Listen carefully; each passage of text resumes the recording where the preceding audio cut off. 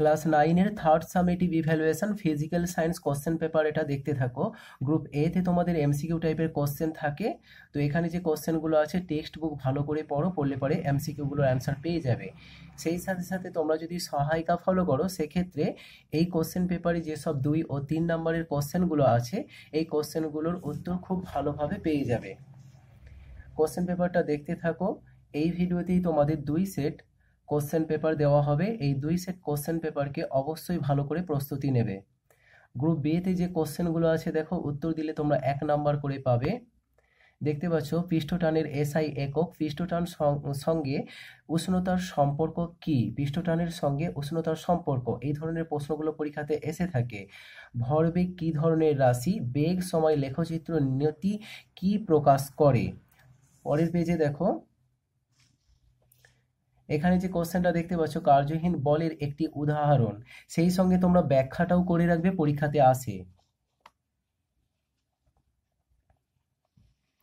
এখানে কিছু শূন্যস্থান দেখতে পাচ্ছ। পরের পেজ।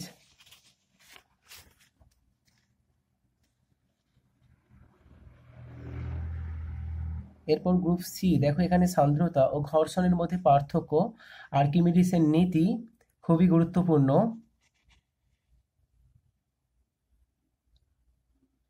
পরের পেজ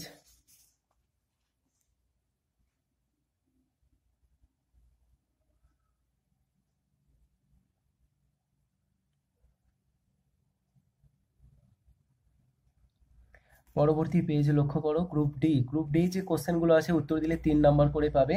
এখানে দেখতে পাচ্ছ বার্নালির নীতির সাহায্যে স্থির তরলের কোনো বিন্দুতে চাপে রাশিমালা প্রতিষ্ঠা করো। সেই সঙ্গে বার্নালির নীতিটা তোমরা অবশ্যই ভালো করে তৈরি করে নেবে।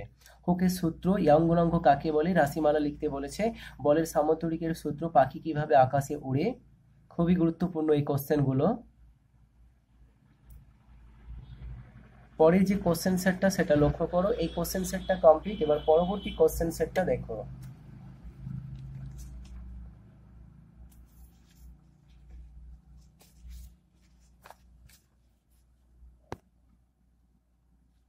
দেখো, এখানেও গ্রুপ এ এখানেও তোমাদের এমসিকিউ আছে এবং গ্রুপ এ তে এমসিকিউ থাকবে। পরের পেজ লক্ষ্য করো।